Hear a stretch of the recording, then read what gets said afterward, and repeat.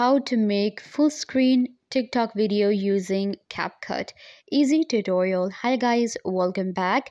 Today I'm giving you a tutorial on how to make a full screen TikTok video using CapCut. So let's get started. Uh, first, what you guys need to do is you will open up your CapCut app on your mobile phone and this is where you will get. I have selected the video and I'll show you how to actually create a full screen TikTok. What I meant by that is, for example, sometimes we have a video and it's actually not on the full screen of TikTok. Like there is some space left how to make it on the full screen because we export our video and then later we find out that it's not on the full screen. For that, first of all, what you can do is if you're using your mobile phone, you can see that we have this layout on CapCut, which is like a mobile phone video layout.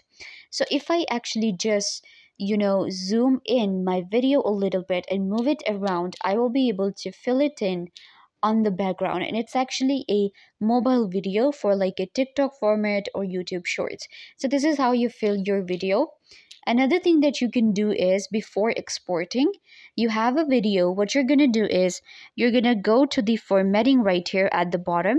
You can see we have formatting. So I'm just going to select the video and then we have format right here. So you're gonna select the format.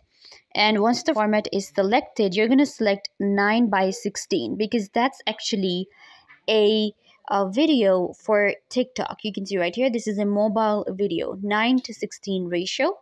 And if your video fits this format that means it's going to be a full screen video on TikTok. Now you can export this video and you're good to go I hope that I was a big help. Don't forget to give this video a big thumbs up, leave a comment down below, turn on bell notification and subscribe to YouTube channel.